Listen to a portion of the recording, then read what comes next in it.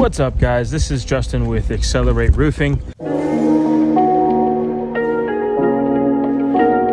Uh, we're out here in beautiful Wedgefield, Florida today. Uh, got a client that asked us to come out. Insurance advised them that they are going to uh, not be renewing their policy based on the condition of the roof. Called us out, needed to do an evaluation. They also noticed that several of their neighbors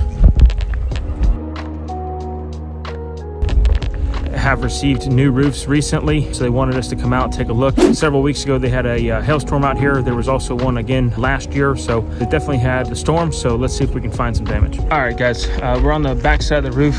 Uh, just completed a little 10 by 10 test square. Definitely some damage up here um, on this roof.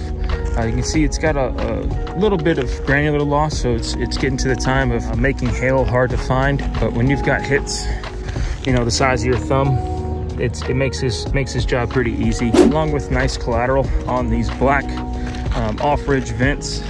We've got some nice splatter marks coming in from hail hits all over this.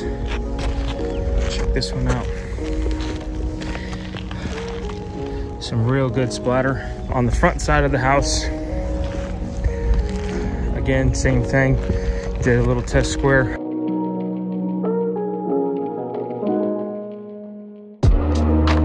This is a section of insulated aluminum uh, flat roof over the porch.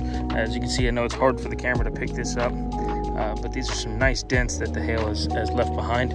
Uh, that's just great evidence. This will be something that we'll go down. Uh, we'll talk to the homeowner about, I'd let them know that we, we found some hail uh, up on their roof and uh, let them make the decision of what they'd like to do next.